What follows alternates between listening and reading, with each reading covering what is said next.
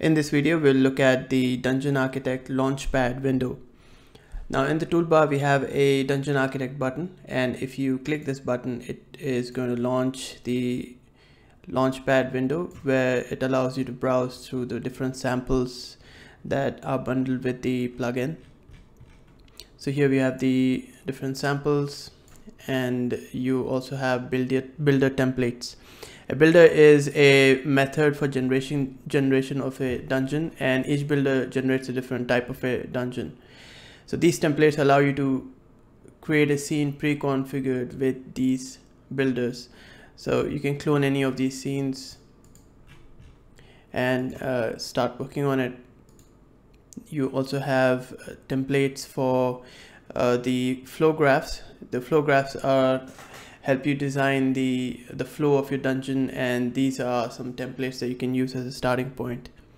And then you have the theme templates. Uh, themes allow you to change the look and feel of your dungeons and these are some some of the starting point templates that you can use. So clicking any of these you can just clone this. And uh, so for example I'm going to clone it and then choose a folder. And once that is done it, it clones it and opens up the opens up that theme in the theme editor and you can go ahead and modify this.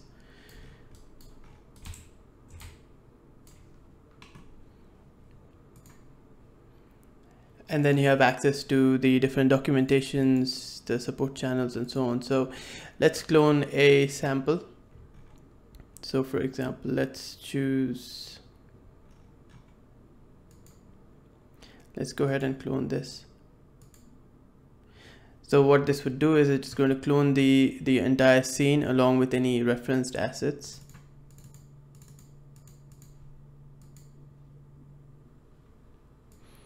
And it's also going to open up any of the uh, relevant editors. So here it has opened up the uh, the grid flow editor and there is a pre-configured uh, dungeon flow grid flow asset. So we're going to use this in this scene file just simply go ahead and hit play.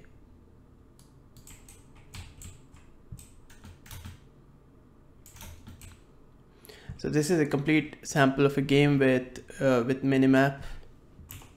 So there's a minimap on the top right corner there is uh, there's a key lock system and quite a lot more. So you can browse through all of these samples from the uh, from this launchpad window and if there is a uh, if there are any dependencies some for example some of the some of the uh, samples require you to download a certain dependency usually an art asset from the marketplace. So this is the free infinity blade uh, art asset. And if you were to click on this this will open up the browser and take you there. So you can download that asset into your browser into your project. So these green buttons are for the dependencies. And if there is a if there's a video uh, you can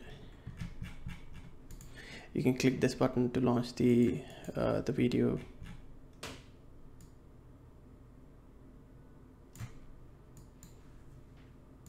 So you can reach me in different through different channels. We have an active discord community.